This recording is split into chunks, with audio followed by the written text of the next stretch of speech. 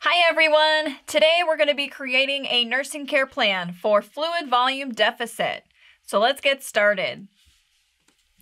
First, we're going to be going over the pathophysiology. So, fluid volume deficit or dehydration is a state or condition where the fluid output exceeds the fluid intake. Nursing considerations we're going to monitor vital signs, full head to toe assessment, monitor I&Os, lab values, administer IV fluids, and educate the patient on prevention. Desired outcome the patient will have normal vital signs, demonstrate adequate lifestyle changes to avoid dehydration, and the patient will have normal urine output. So, we're going to go ahead and dive into the care plan. We're going to be writing out some subjective data and some objective data. So, what are we going to see with these patients? Some subjective data could be weakness, dizziness, Some objective data that we'll see. Maybe some weight loss.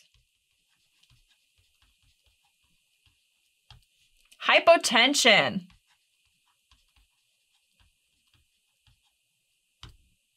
Maybe concentrated urine.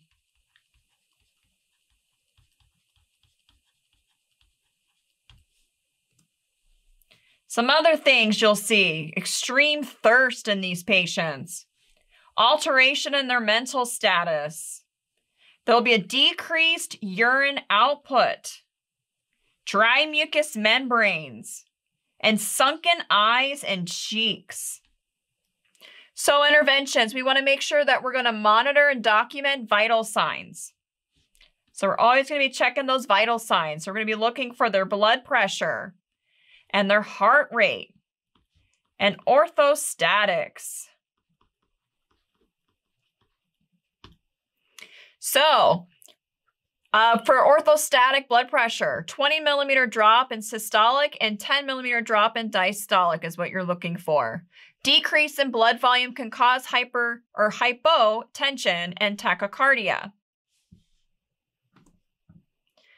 Another thing we want to do is we want to make sure we're getting proper health history from the patient. So we want to make sure we're getting a history. Do they have such factors as GI losses?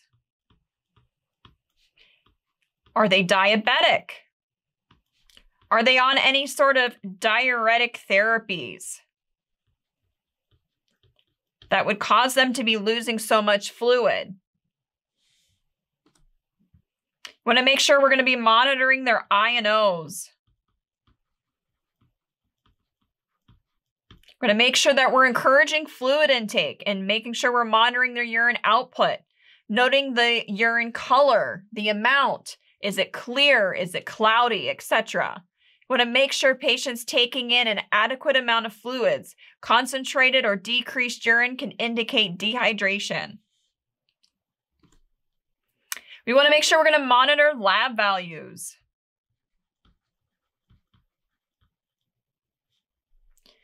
So we want to see for such things as elevated BUN or BUN, creatinine. So these are for their kidney function. Their electrolytes, such as potassium, magnesium. Going to be looking for we're also going to be looking for hematocrit. And with hematocrit, if there is no change in the hemoglobin, this can also reflect fluid volume deficit. We want to make sure that we're giving IV fluids or isotonic solutions. such as normal saline or lactated Ringer's or 5% dextrose and water. We want to make sure that we're giving these solutions and able to help aid in rehydrating these patients. Make sure we're getting daily weights.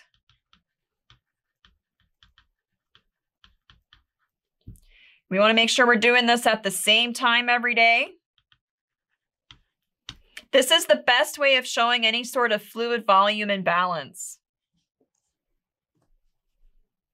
And we want to make sure that we're educating the patient and the family. We want to make sure we're educating them on prevention. Any signs and symptoms that they need to be reporting to the physician. The patient should know how to prevent dehydration and know when they should be concerned and contact the physician as needed. Okay, we're going to go over some key points here. So, fluid volume deficits, a state or condition where the fluid output exceeds the intake. Decreased fluid intake, bleeding, diarrhea, diuresis, increased metabolic rate, and third spacing are common causes. Some subjective, objective data we're looking at the patient could be complaining of weakness, extreme thirst, dizziness, any sort of alterations in their mental status.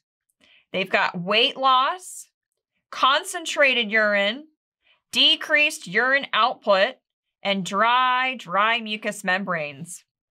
Gonna monitor their vital signs, do a full assessment, make sure we're monitoring their I&Os, their lab values, and administering those fluids. Make sure we're doing daily weights and educating the patient on preventing dehydration. And there we have a completed care plan. Awesome job, guys. We love ya. Go out, be your best self today, and as always, happy nursing. Thanks for watching another nursing.com lesson. Click the link below in the description to watch thousands more lessons over on nursing.com. Also, be sure to hit the subscribe and the little bell to make sure you're reminded when new lessons come out. And if you want to just keep watching more lessons, go ahead and click this video over here to continue learning. Like we always say here at nursing.com, happy nursing.